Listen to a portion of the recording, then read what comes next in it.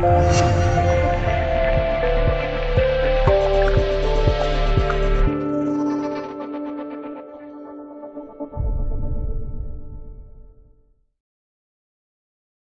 标题：胜利之吻。男主力士曾在英雄战舰迎战日军神风突击队，勇救战友。一九四五年八月十五日，美国时间八月十四日，当日本法西斯宣布无条件投降的消息传来时，美国纽约时代广场陷入一片前所未有的欢呼浪潮。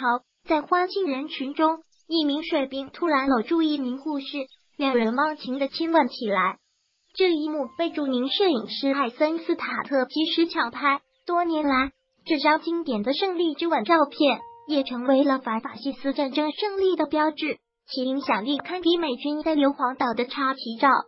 近日，据美国有线电视新闻网报道，胜利之吻的男主角门多萨于二月十七日去世，距离他九十六岁生日还差两天。浪漫的胜利之吻。也标志反法西斯的胜利。胜利之吻已经登出，立刻火遍全美。它不但成为了艾森斯塔特一生中最知名的摄影作品，更以一种无可取代的浪漫色彩标志时代的缩影。照片中相互亲吻的水兵和护士结束亲吻后就离开了彼此。多年来，一直有很多人声称自己就是这张著名照片中的主人公。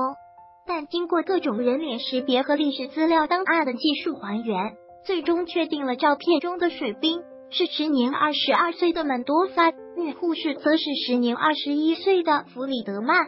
有趣的是，这张照片拍摄当天也是门多萨和妻子一生中第一次约会的时刻，而胜利之吻发生时，自己的妻子就在身边。胜利之吻的影响力堪比硫磺岛查奇门多萨。出生于一个渔夫家庭，一九四二年加入海军后不久就被分配到太平洋战区的苏利文号驱逐舰服役，担任舵手。苏利文号也是一艘因战争英雄得名的战舰。一九四五年冲绳战役中，门多萨所在舰队遭遇了极其恐怖的日军神风突击队，门多萨亲自操作，搭救了沉没友军航母的百余名官兵。随后。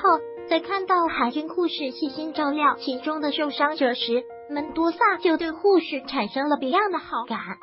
当他和医生的妻子佩特里平生第一次约会时，突然听到剧场外人群的高呼：“战争结束了，日本投降了！”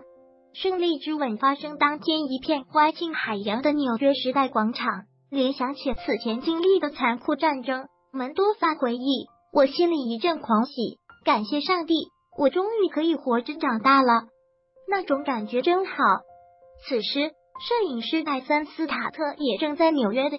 他看到一个年轻水兵狂奔着，拥抱着每一个不同年龄的女性，最终他抱住一个白色的身影，两人忘情的亲吻起来。我照拍到了这一幕。门多萨事后称：“我看到一个护士处于本能，我拥抱并亲吻了她。”女护士弗里德曼回忆道。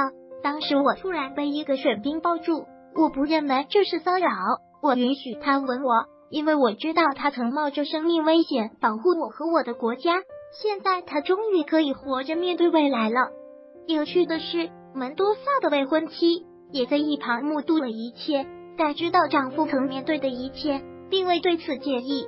此时，地球另一端，日寇死境外投资陆军大将啊，拿维几和神风自杀战术之父。海军中将大西双治郎相继剖腹自杀。老年门多萨拿着照片回忆当年青春期的时刻。门多萨和弗里德曼于一九八零年得以重逢，尽管此时两人都当了爷爷奶奶，但回首昔日青春激情时刻，依旧恍如昨日。他们由此又发展出一段别样友谊，直到二零一六年，弗里德曼以九十二岁高龄去世。而拍下这张胜利之吻的艾森斯塔特也早已于一九九五年去世。或许天堂中将再次上演胜利之吻。